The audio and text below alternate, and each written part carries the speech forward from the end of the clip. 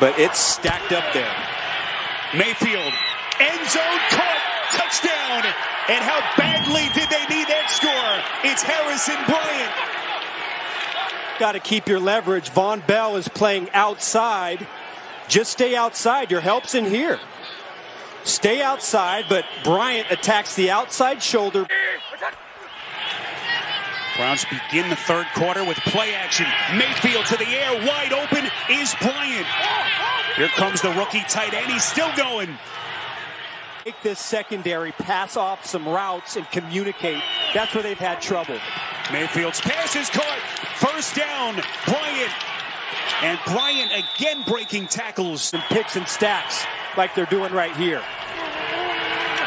Baker, end zone caught. Bryant for the touchdown. And Mayfield threading the needle. Answer drive and what Baker Mayfield needed. Looks off to the left, clears out the linebacker. There's nobody to help, and then just rips it.